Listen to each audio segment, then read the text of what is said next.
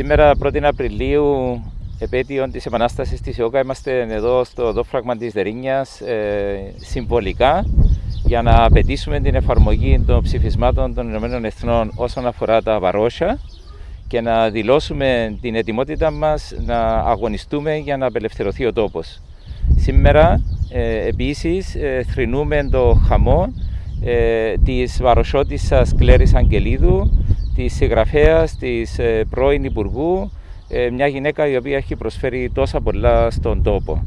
Θέλουμε να πούμε συλληπιτήρια στην οικογένεια της ε, και να ευχαριστήσουμε όλους για την προσφορά την οποία είχε δώσει στην κοινωνία μας.